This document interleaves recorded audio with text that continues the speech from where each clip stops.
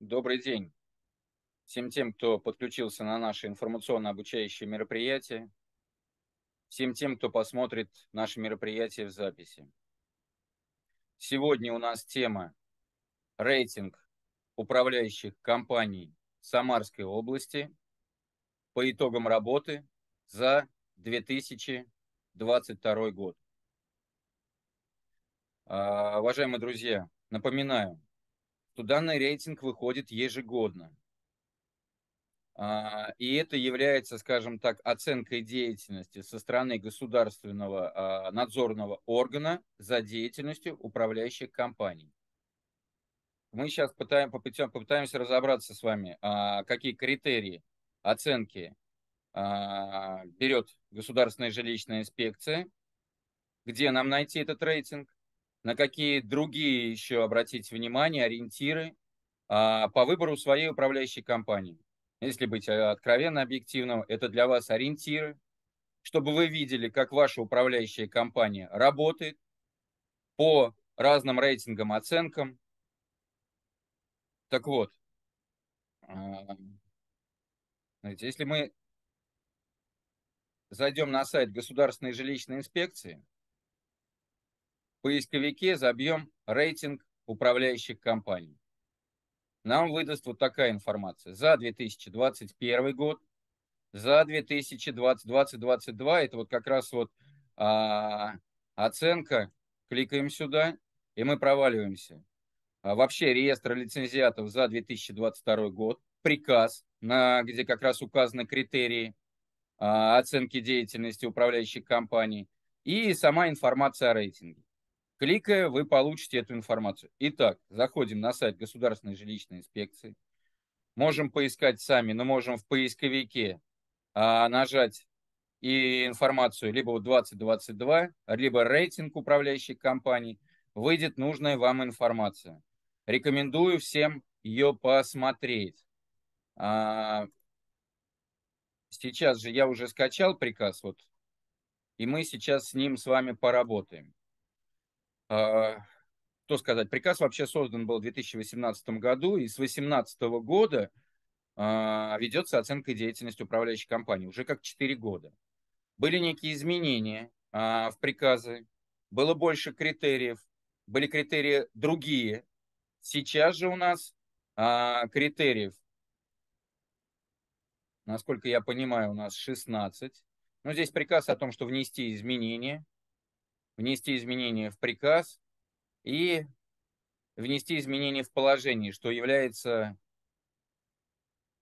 А, итак, вот что особенно интересно в этом рейтинге. Сейчас мы дальше его увидим, и увидим, что он покрашен у нас светофором. А, зеленый, желтый, красный. Для удобства а, использования и понимания, какие баллы набрали управляющих компаний, как для управляющих компаний, так и для жителей Самарской области. Итак, оценки отлично, это выше 100 баллов. Хорошо, ниже 100 баллов, но выше 80. Ниже 80 это работа удовлетворительна. Вот видите, нету таких оценок, что отрицательно совсем, а, либо неут. А, но вот э, в принципе красное хорошо, удовлетворительно, а, желтое хорошо, зеленые отлично. Ну и приходим как раз мы а, к приказу, к самому положению. И мы видим как раз с вами а, те критерии, которые оцениваются государственной жилищной инспекцией с помощью, а, ну, скажем так, лиц, участвующих в этом процессе. Это у нас управляющие компании, и Общественная палата Самарской области.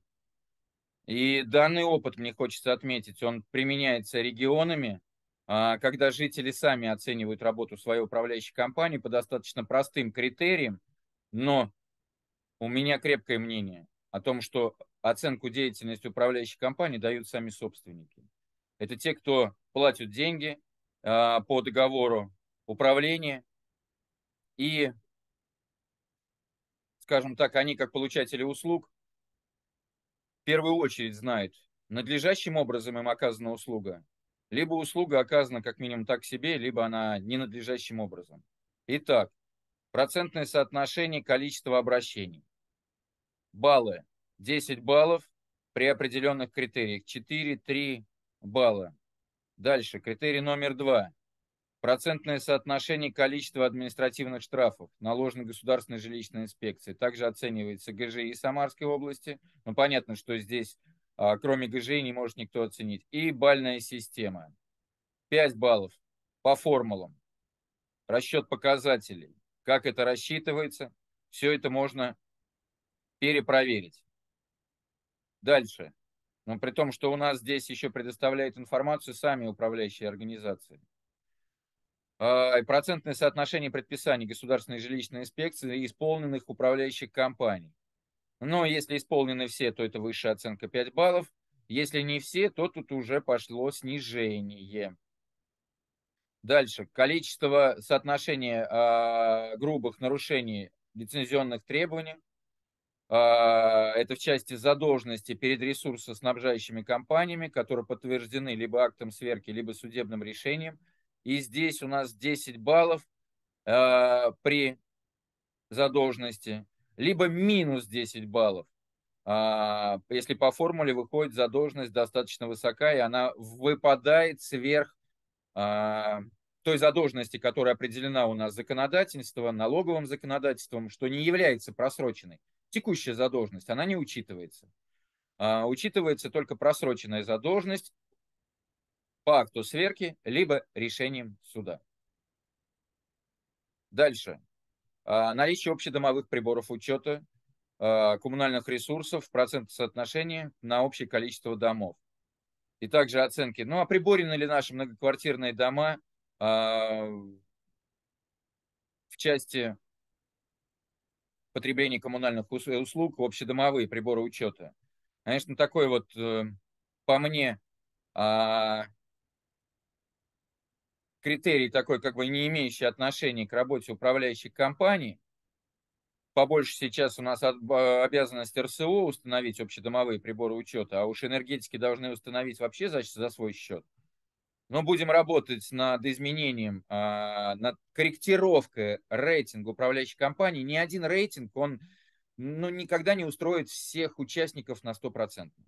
Давайте быть объективны. Любому рейтингу можно задать э, всегда вопросы. И вот мы уже на протяжении, э, ну, наверное, более двух лет работаем периодически над его корректировкой. А, рабочая группа в Общественной палате Самарской области на постоянной основе работает, и э, вносятся предложения, в том числе участниками рынка, управляющими компаниями, как государственная жилищная инспекция смотрит, если эту оценку внести в этот приказ, и так далее, и так далее. Вот э, буквально вчера мы разговаривали в Общественной палате на круглом столе, посвященном капитальному ремонту, что было бы неплохо в э, рейтинг управляющей компании на следующие года, конечно же, а внести а как управляющая компания взаимодействует там с фондом капитального ремонта при подготовке к капитальному ремонту? Есть, где управляющие компании взаимодействуют действительно, а есть, когда приходит, ну, для примера, ремонтировать кровлю, а там завален весь э, чердак, а, либо еще что-то, но даже жители там не дают доступа в квартиры и так далее, и так далее. Как работа управляющей компании? Надо, можно подумать над этим критерием. И если у вас, собственники, будут предложения, которые вы считаете необходимым для внесения а, в, а, в рейтинг управляющих компаний, это возможно. На нашу почту 273 33 73 собачка можно присылать предложения а, либо по телефону 273 33 73, тоже их сказать устно. Вы считаете, что такой-то, а мы уже бы здесь на рабочей группе бы подумали, это ну, уместно, э, он дает оценку какой-то работе управляющей компании, либо нет. Поэтому этот рейтинг открыт, общественная палата в этом направлении работает.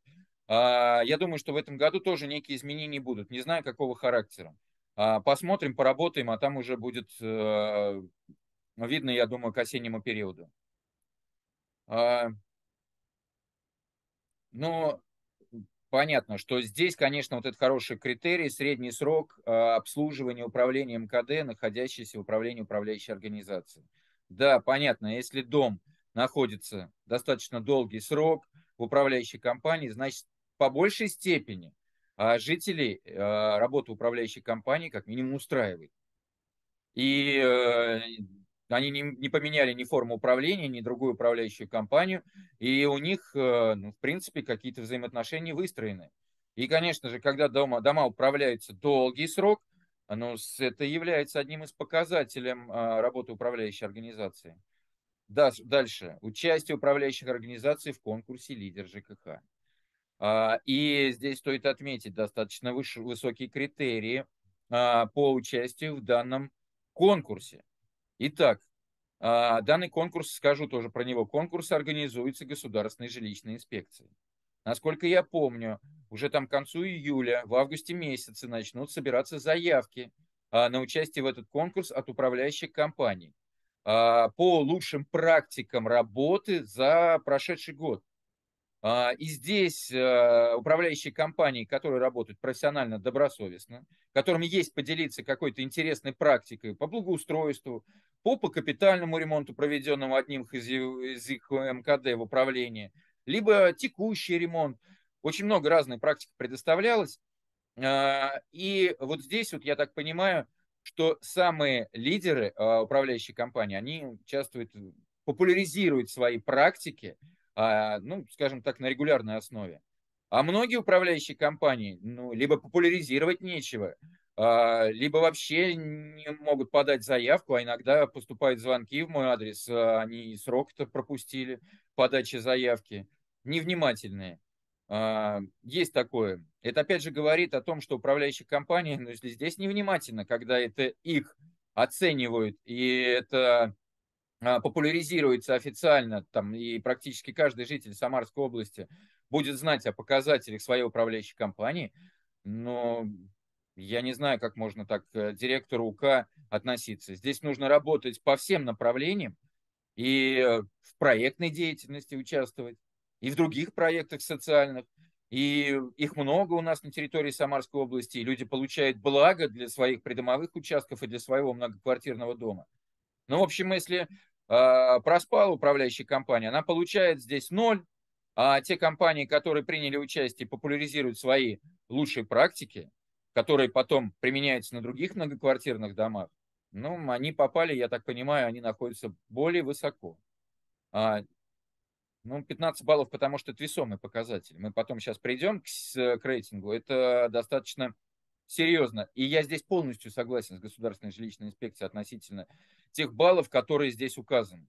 15 баллов. Да, может быть, мы а, в какой-то год немножко снизим, а может быть и наоборот повысим рабочей группы, попросим Государственную жилищную инспекцию именно так а, отреагировать. Но оценках э, бальная высокая, значит, управляющим компаниям нужно брать во внимание данный критерий. Это не значит, что другие нужно оставлять совсем без внимания. А наличие у сотрудников управляющей организации квалификационных аттестатов. Мы знаем, что для получения лицензии у нас нужен один квалификационный аттестат на директора.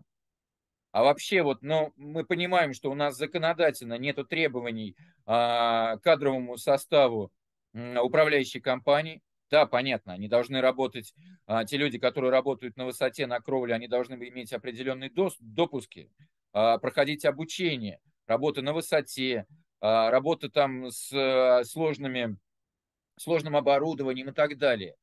А, но определенных таких вот внешних а, требований к образованию сотрудников нету. И здесь вот есть одна зацепка, как эту историю подымать, а, как э, все-таки обратить внимание, что все-таки чем больше образованных людей в штате управляющей компании, тем она работает лучше. Они более компетентные, они принимают решения, которые менее финансово затратные, но а, делают, ну, скажем так, выполняют те же функции. Так вот, если в управляющей компании этим заинтересован директор, и многие так и поступили, направив всех своих сотрудников, там, ну хотя бы там среднего персонала, и, а некоторые вообще практически всех своих сотрудников направили на сдачу этого экзамена. Те, кто сдал, получили премию, те, кто не сдал, депримировались. А, есть такая практика. И вот здесь наш критерий, если более двух, то 5 баллов. А, здесь я считаю, что, наверное, стоит повышать количество выше двух, может быть, три, а может быть, даже и пять а, наличие квалификационных аттестатов управляющей компании. Нужно а, повышать грамотность сотрудников управляющей компании. Это первое, потому что пройти а, данный экзамен не совсем просто, к нему нужно готовиться. А, и там основные такие вопросы. Кстати, любой из вас а, может подготовиться на сдачу этого квалификационного аттестата, даже он там не работает, если в отрасли ЖКХ. А, есть открытые источники, вопросы находятся на сайте Министерства строительства Российской Федерации.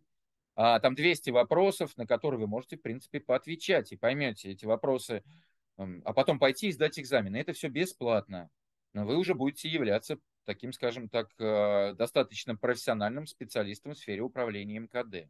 Конечно, не высшее образование и не среднее какое-то специальное, но все-таки. А, эффективность э, подготовки управляющей компании э, к зимнему периоду, к ОЗП. Это важный момент. А, если управляющая компания все своевременно делает, она уже должна делать после того, как закончился отопительный период – 22-23, а, готовится к отопительному периоду сейчас уже 23-24. Это и осмотры вместе с собственниками и сроку ли подготавливается управляющая компания. А мы знаем, что у нас в августе они должны быть все готовы. К 1 сентябрю а, должны уже быть документы а, в государственной информационной системе и в системе электронной ЖКХ о подготовке к ОЗП. А, вот здесь вот э, государственная жилищная инспекция тоже считаю правильно. Это одна из основных функций работы управляющей компании. Дом подготовить к зимнему периоду. Самый сложный период в управлении многоквартирного дома. Начиная от кровли, заканчивая оборудованием.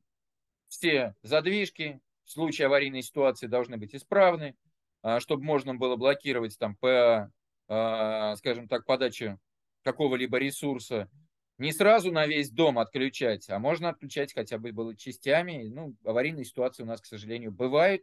И, наверное, исключить их совсем на 100% просто, наверное, невозможно.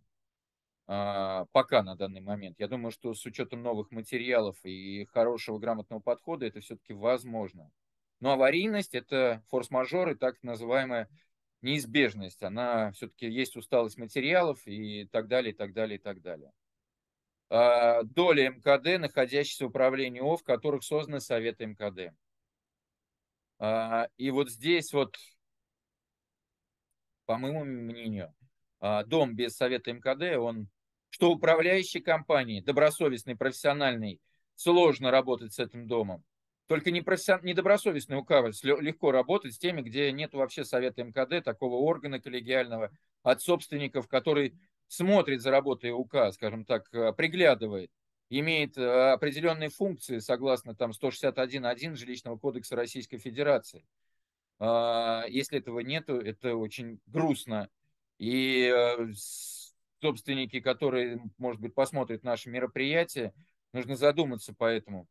Если вы обращаете внимание, что ваш дом, ну, немножко что-то как-то совсем он не обслуживается, нет внимания от УК, один, а подумайте, а есть ли вообще у вас орган управления? И берите, если есть такая возможность а, и силы ввести ваш дом.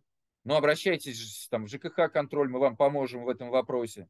Как действовать, смотрите наши обучающие мероприятия, и вам будет легче. Но это дом, это наш.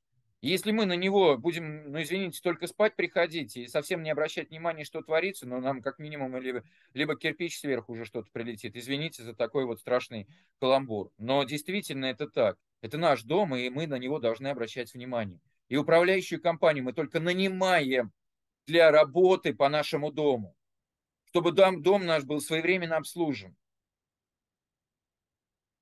Дальше я хотел сказать о том опыте, который а, устоял а, и а, хорошо спопуляризировался по всей Российской Федерации. И сейчас есть даже такие, такие задумки на уровне федерации, ну, сделать, скажем так, единый рейтинг управляющих компаний, единый критерий оценки. Не знаю, будет ли это хорошо. Не всегда унификация с учетом наших внутренних особенностей каждого региона – она хороша. Россия а, страна большая, и хоть и проблем в сфере жилищно-коммунального хозяйства хватает в каждом регионе, но все-таки проблематика, она порой бывает немножко разной. Даже и чувствуется это и в наших муниципалитетах. У всех, у жителей разные вопросы а, касаемо сферы жилищно-коммунального хозяйства. Итак, вот оценка изменений в состоянии дома в результате деятельности управляющей компании. А, это вот та работа, когда общественные палаты направлялись анкеты в общественные палаты э, городов малых, э, в общественные советы муниципалитетов. На сайте ЖКХ «Контроль» можно было сделать эту оценку. Вот эти пять критериев. Дальше у нас оценка взаимодействия управляющей компании с Советом МКД. Как реагировать на обращение от Совета МКД? Оперативно, да классно, значит оценка 5 либо 4. А если а, взяли, сказали да, да забыли, то, конечно, оценка кол а, а может быть даже ноль, потому что ноль тоже является оценкой по этому критерию и несет минусовые а, показатели. Оценка работы управляющей организации по выполнению перечня услуг и работ по ремонту общего имущества. Это тоже то, что должно быть. А, это утвержденный план текущего ремонта и его выполнения. Эта работа должна проводиться вместе с собственники. Тем самым вот эти вот пять критериев, они такие взаимодействия а, жителей с управляющей компанией. Вот самая важная история. А, представление управляющей компании отчетности. Мы хотим видеть понятную, прозрачную отчетность, на что потрачены наши деньги. Да, мы порой действительно не видим а, работу управляющей компании, но это не всегда значит, что мы ее, а, что ее не было. Но мы не полезем в подвал там, каждый раз проверять, и у нас доступа нет туда, скажем, и определенные должны быть доступы, не дай бог, какой-нибудь труба рванет с горячей трубой и будет ошпариться человек, активист. А, но мы должны понимать, что они там в подвале копаются и делают, но все-таки они на приемку работы членов совета должны принять, когда позвать, показать, вот мы вот смету дать, а, калькуляцию, наконец, а, потом на подписание акта выполненных работ пригласить членов совета. Но здесь многие моменты, которые собственники тоже должны в доме сделать сами, там на решение принять определенные на общих собраниях.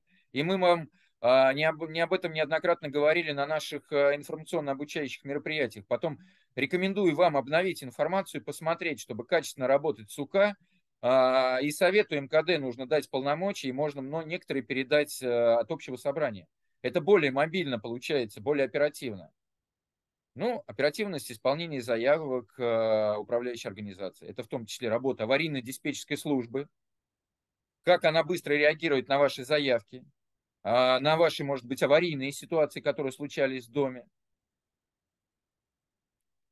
А, и вот наличие УА на ПОС, это у нас сейчас вот новый критерий, а, критерий, который ЦУРом Самарской области совместно оценивается. Это центр, куда стекаются все проблемы в сфере жилищно-коммунального хозяйства, отчасти, которые обращения поступили от жителей.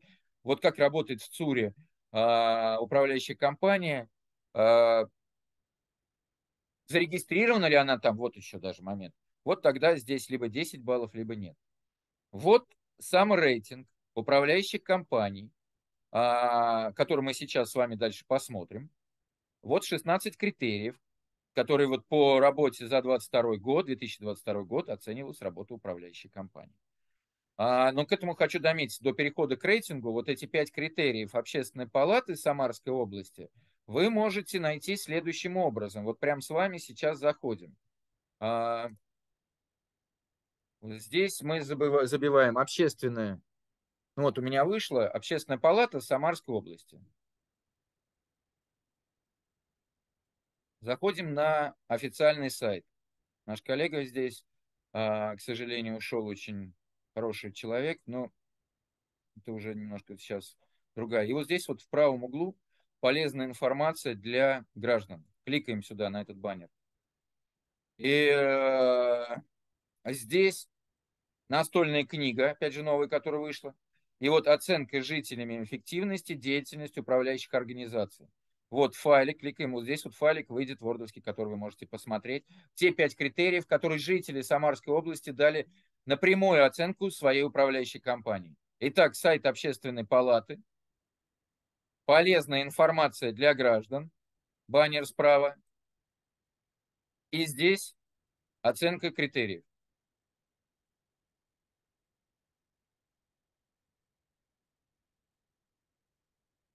Итак, я так понимаю, а, немножко это на экран не вышло.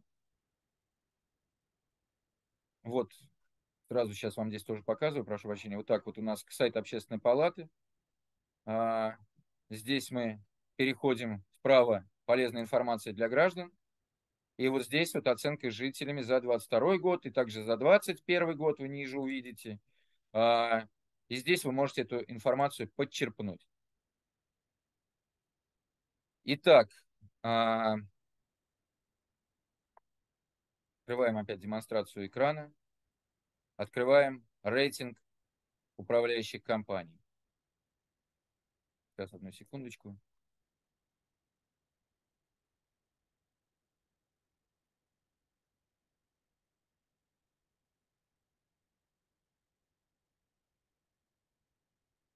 Так, одну секунду. А. Итак, мы видим рейтинг управляющих компаний за 2022 год. На первом месте у нас оказалось общество с ограниченной ответственностью жилищник. Не оказалось, прошу прощения, заняло место. Количество МКД 95, баллы, которые набрали 118. На втором месте компания Жигулевский град.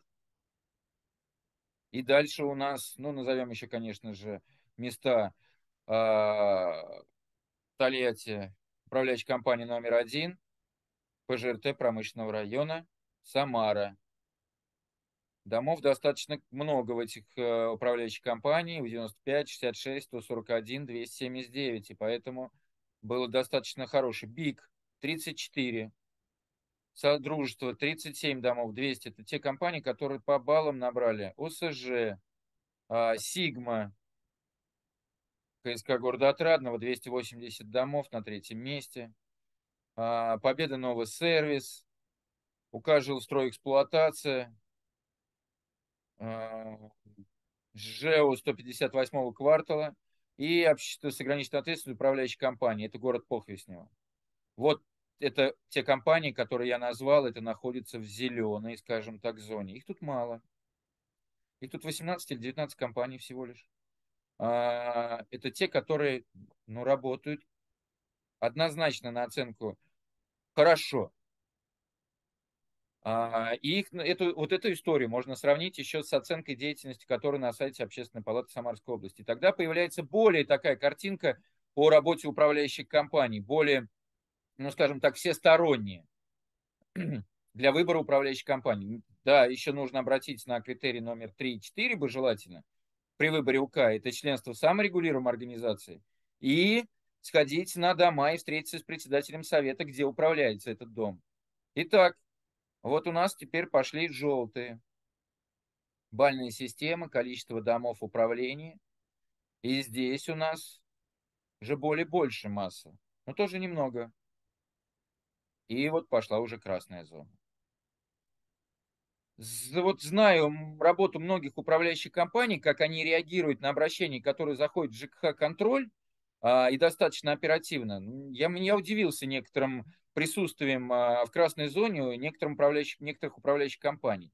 И здесь вот надо понять, это не объективность, опять же, рейтинга, либо, может быть, действительно по какому-то критерию части, например, не участие в конкурсе, а в ЦУРе регистрация. Может быть, ну, пропустили это, эту историю. Хотя конкурс идет уже много-много лет.